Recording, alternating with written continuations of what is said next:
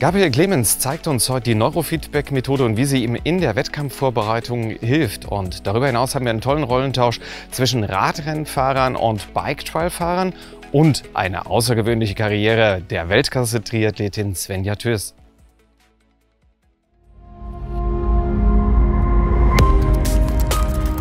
Wir sind hier heute äh, bei Marc Klinger im Schulungszentrum in Marpingen und äh, ich mache hier Neurofeedback.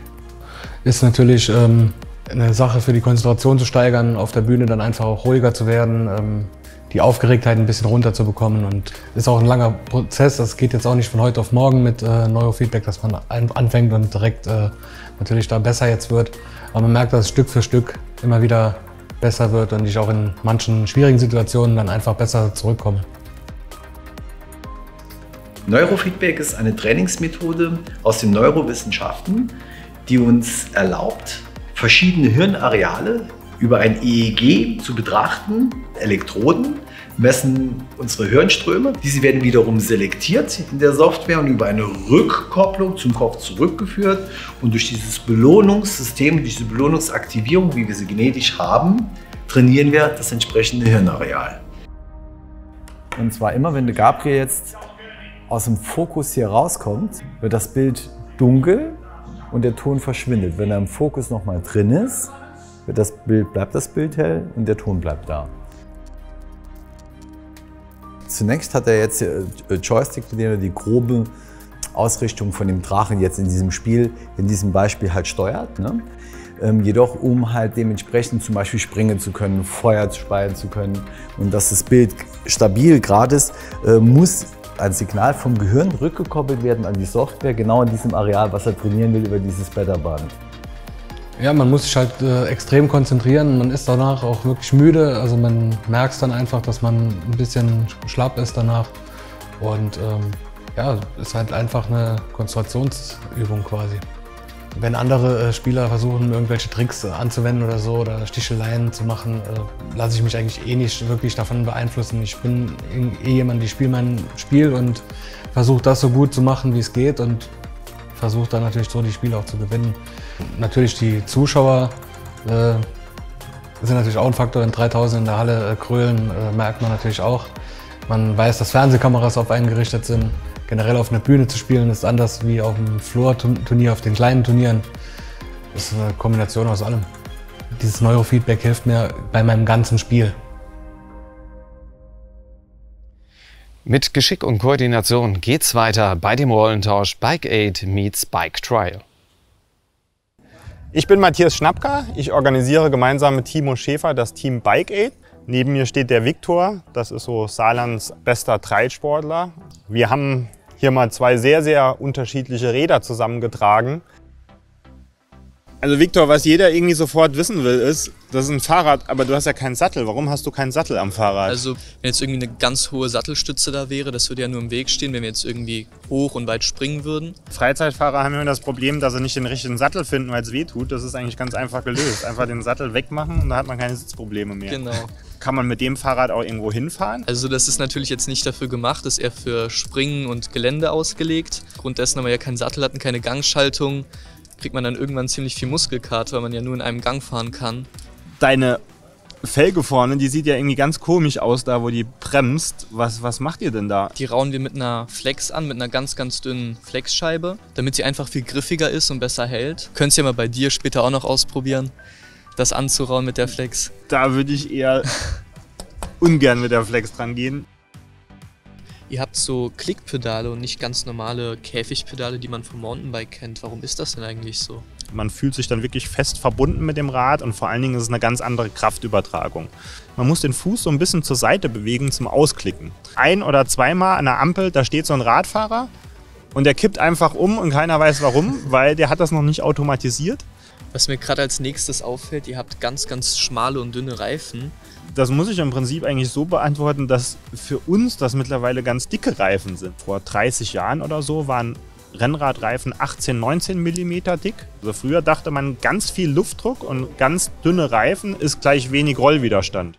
Wie viel wiegt denn grob so ein professionelles Rennrad?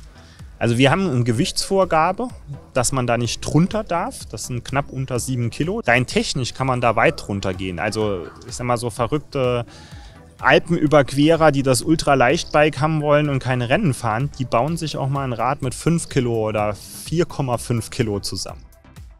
Wir haben uns gerade auch ein bisschen noch unterhalten und da hast du mir so dein Navi gezeigt. Warum genau braucht ihr das denn?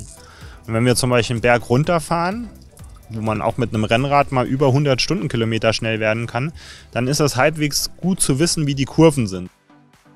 Würdest du mir zutrauen, dass ich mal auf deinem Rad sitze und setzt du dich freiwillig mal auf so ein Rad? Ja klar, selbstverständlich.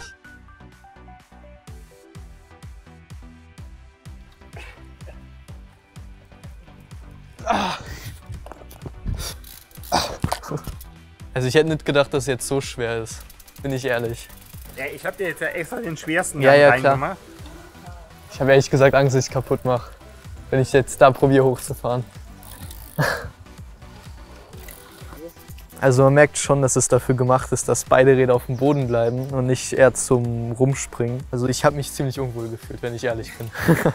Hättest du mal Lust, mit meinem Rad probieren, zu probieren, hier den Brunnen runterzufahren oder hier gerade die Stufe? Wenn du mich irgendwie festhältst, dass ich mir nicht direkt alle Knochen breche, also kann man das mal ausprobieren.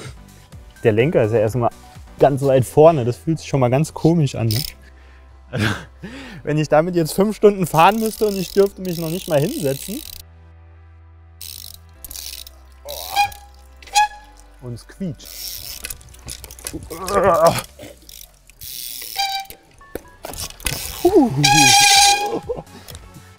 Das ist auf jeden Fall irgendwie ein absolutes Spezialgerät für, für Dinge, die man mit unseren Rennrädern besser erst gar nicht probieren sollte.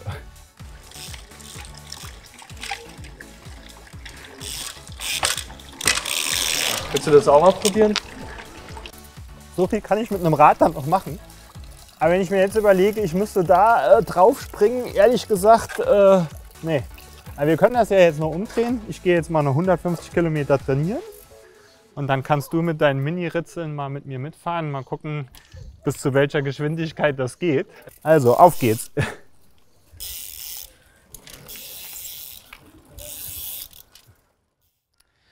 Auf zwei Rädern geht's gleich weiter mit unserer Weltklasse-Triathletin Svenja Tös und einem Einblick in ihre Karriere. Svenja Tös, Weltklasse-Triathletin. Äh, schön, dass du bei uns bist. Svenja, wie bist du denn eigentlich zum Triathlon gekommen? Ähm, das ist eine lustige Geschichte. Durch ein Gewinnspiel 2011 habe ich einen Startplatz für den 70.3 Mallorca gewonnen. Dann 2012 auf Mallorca gestartet. Ironman macht man ja, glaube ich, nicht gerade so aus der Hüfte raus. Äh, genau, mein Ziel war einfach nur, das Ganze zu schaffen. Äh, das sind ja 1,9 Kilometer Schwimmen, 90 Kilometer Radfahren und 21,1 Laufen. Und das waren alles Disziplinen, die ich vorher nicht ähm, trainiert habe, beziehungsweise ich habe gar keinen Sport gemacht vor 2011, nur ein bisschen gelaufen mit meinem Hund. Und dann habe ich diese Challenge auf mich genommen und wollte es einfach schaffen.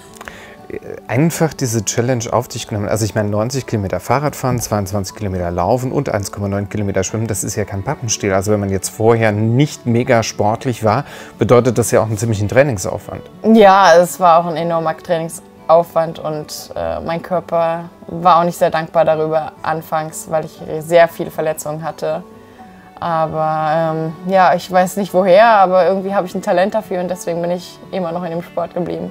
Das heißt also zehn Jahre jetzt äh, Triathlon ist ja schon eine gewisse Strecke. Das bedarf ja auch ein wahnsinniges Training, das da dahinter steht. Wie sieht denn eigentlich so der Trainingsalltag von Svenja Tös aus?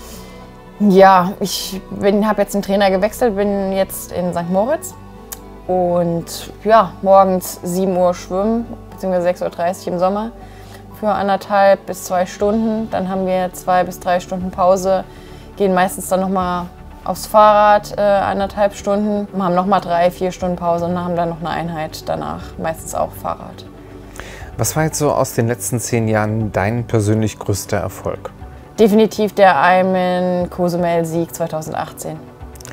Gab es noch was anderes, was dir in guter Erinnerung geblieben ist? Ich war jetzt ja zweimal auf Hawaii, äh, einmal als, als Altersklassenathlet 2016, als ich mich entschieden habe, ins Profilager zu wechseln. Da wurde ich 15. gesamt und habe alle Altersklassen gewonnen. Das war definitiv noch ein Riesenerfolg. äh, neben Kusumel. Und ja, die Qualifikation für Hawaii als Profi war natürlich auch gigantisch. Äh, leider, das war 2019, nur leider hatte ich Magen-Darm-Probleme und wurde 20. Und was ist genau das, was dich in all diesen Jahren an dieser Sportart Triathlon so gefesselt hat? Ja, man hat sehr viel Zeit mit sich selber, man lernt sich sehr gut kennen, man weiß, wo die Grenzen sind und es ist so ein bisschen der Sinn des Lebens für mich.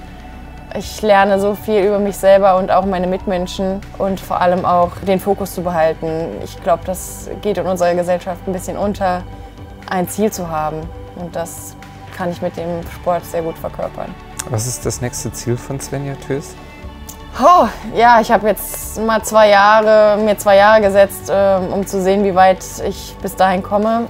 Ähm, die Zeiten sind momentan sehr, sehr schwierig für mich. Und nicht nur für mich, sondern für generell Sport, Tourismus etc. Und dann schauen wir mal, ähm, was die nächsten zwei Jahre, was die nächsten zwei Jahre mit sich bringen. Was durfte Svenja in den letzten zehn Jahren über sich selbst erleben, erfahren?